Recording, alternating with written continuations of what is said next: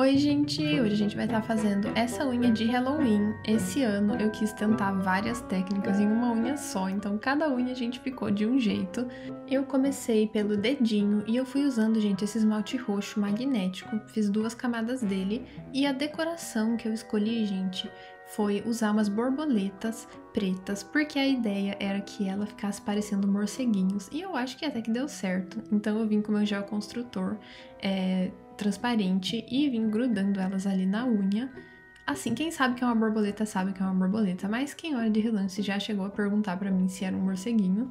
Daí eu finalizei essa unha com o top coat depois de encapsular e vamos para a segunda unha o dedo anelar, então eu comecei fazendo um fundo preto e, gente, nessa unha eu vou estar tá usando um esmalte diferente, que ele é um esmalte magnético de um efeito verde meio... Ai, gente, não sei nem explicar, parece tipo um feitiço esse esmalte, achei ele tão lindo.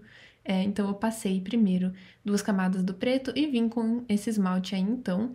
É, e o que acontece, gente? Eu passei ele e vim dando um efeito é, para empurrar todo o glitter do esmalte para o centro da unha, fazendo tipo uma bola mesmo ali no meio. E é muito facinho, gente, é só ir empurrando que ele para.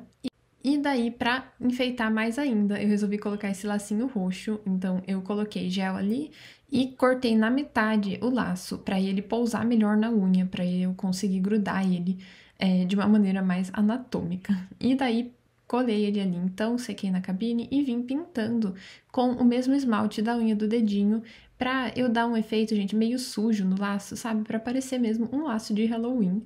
Depois de secar o esmalte, eu já vim colando melhor, dando uma encapsulada ali por baixo para não ficar nenhum, nenhuma fresta por baixo da, do laço entre a unha. E para finalizar, top coat. É, tem que passar a gente em todos os cantinhos nessa hora, vai ficar um excesso e depois você tira esse excesso mas esse foi o resultado então. E vamos para a próxima unha, ela vai ser nesse tom, gente, verde neon. E esse esmalte, ele brilha no escuro também, então, assim, eu acho perfeito pro Halloween. É, e também brilha naquelas luzes neon de, de festa, luz negra, né? E esse esmalte, ele só tem esse probleminha que ele é bem ralo, então eu tive que fazer três camadas dele.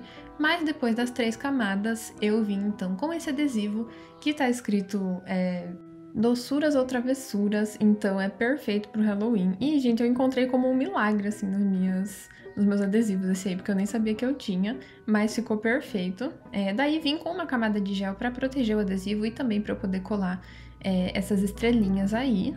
Depois vim encapsulando elas. Eu tentei deixar a unha o mais nivelada possível para não ficar nenhum degrau ali. É, e vim finalizando com o top coat. E esse então foi o resultado final dessa unha. E vamos para a próxima, e essa era que eu mais estava animada, gente. Eu comecei essa unha então com fundo branco, usando esse esmalte da Bela Rosa. E unha branca é aquela coisa, né? Você tem que secar bastante ela antes de dar a segunda camada. Mas aí então, fiz duas camadas, sequei e vamos para decoração. Eu peguei o Spider Gel. E essa dica, gente, eu não lembro onde eu vi, mas eu acho que foi lá no Instagram. E eu vi a menina então fazendo as listras é, com o Spider Gel. E eu nunca tinha pensado em fazer isso. E eu achei assim que ia ser bem prático.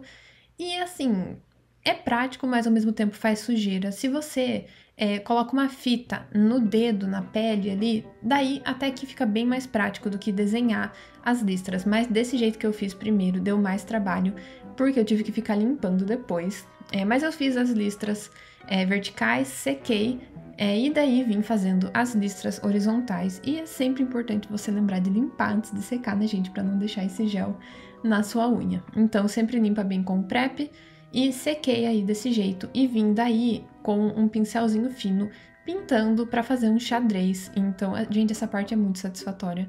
É muito, muito legal. E pintando ali os buraquinhos que vão ser pretos. É, gente, parece um livro de colorir. Então, sequei esse esmalte e vim finalizando essa unha com o top coat. E, gente, juro para vocês, para fazer a segunda vez que eu já tinha pego a prática, foi muito rápido. Daí vamos para última unha que vai ser o dedão. Eu quis, gente, fazer uma unha laranja, então, para finalizar aquelas cores de Halloween, né? Aquele verde, roxo e laranja. E eu pintei um, umas pérolas de preto, aquela pérola em formato de coração, e também vim, então, com esse esmalte neon que também brilha no escuro e fiz três camadas, porque ele também é meio ralo.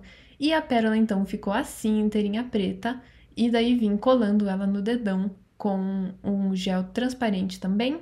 Depois de seco, encapsulei ela para não ficar grudando em muita coisa ou entrar nada debaixo dela. E depois finalizei com o top coat. E tem que tomar cuidado para não ficar é, tipo uma poça ali de top coat no, no meio do coração. Mas esse foi o resultado final. Ficou uma unha, gente, muito chamativa. Ela tá chamando atenção em todo lugar que eu vou. E, nossa, gente, deu trabalho, hein? Eu fiquei dois dias para fazer essa unha, não consegui fazer em um dia só. Mas então foi isso, não se esqueçam de deixar o like, se inscrevam no canal para não perder os próximos vídeos e a gente se vê no próximo. Tchau!